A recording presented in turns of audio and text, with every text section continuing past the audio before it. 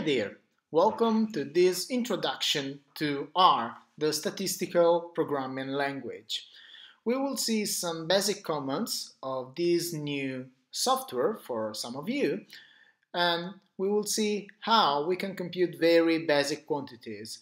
Starting from next week, we will use R to perform some of the computations that we need to assess credit risk. So, uh, starting from this week, I really hope you will invest some time in learning this new programming language. You will see this is not difficult. So, let's start. I assume you have already installed R on your PCs, Macs or what you prefer. If you launch R, this is what you see, the so-called R console. The message you get is relative to the open source license of R. In my case, it is in Italian. If you launch R Studio, a very nice graphical interface for R, this is what you get. For those of you that know MATLAB, you will see a very familiar environment in R Studio. I strongly suggest you to use this if you are approaching R for the first time. In RStudio, you have the usual license text.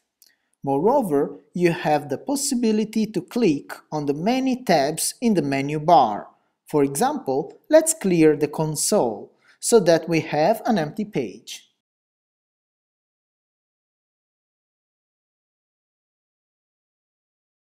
In R, commands are written after the greater sign, a command which starts with a hash sign is a comment, that is to say something that R does not execute.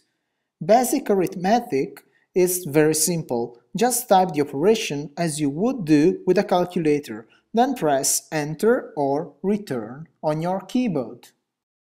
The result immediately appears on screen. Notice that R follows the usual rules about the order of computations hence always use brackets when needed. You can also use simple functions such as the exponential, the natural logarithm, the logarithm with base 10, as well as notable constants like pi.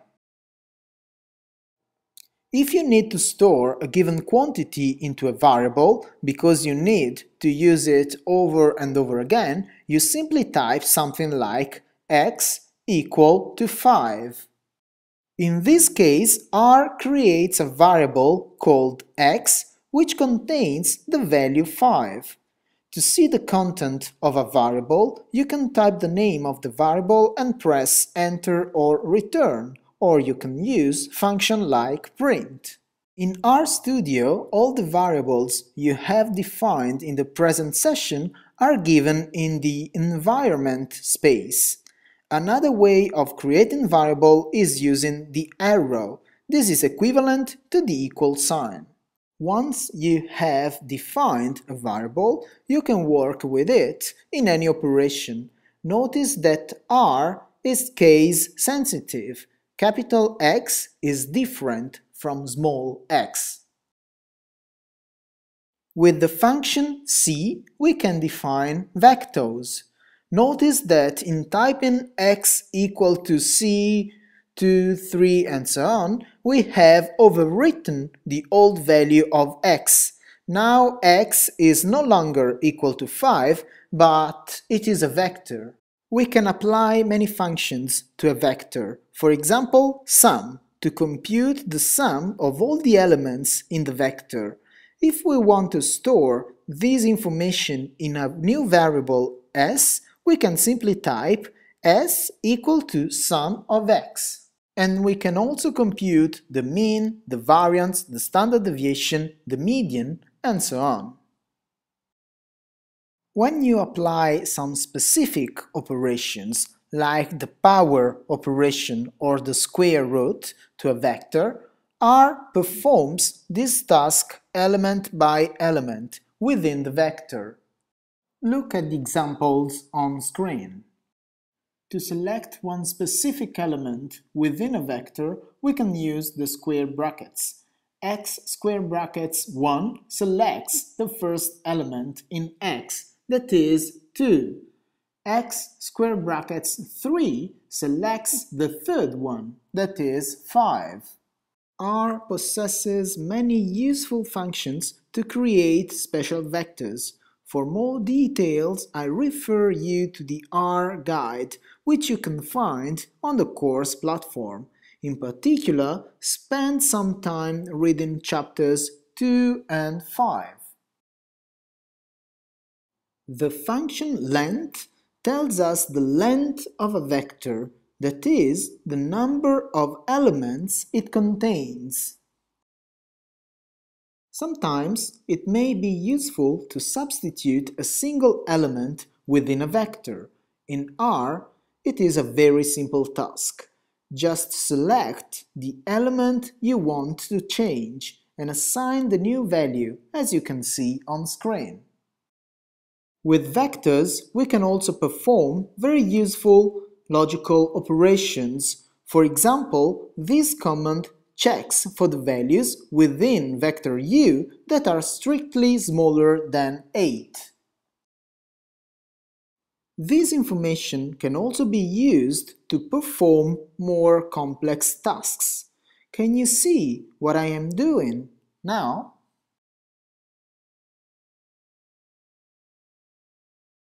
To delete a variable, we can use the command remove or rm. Let's now create two new variables. Plotting them together is very simple. The command is plot and the names of the variables. And changing the graphical properties of the plot is simple as well. R is extremely powerful in probability and statistics. Generating 100 observations from a standard normal distribution with mean 0 and standard deviation 1 is extremely simple. The command is rnorm. Let's plot a histogram. Easy, isn't it? If you prefer a Gaussian distribution with mean 5 and standard deviation 2, the command slightly changes, and here it is. We can plot another histogram, we can compute the mean, the standard deviation, the median, and so on.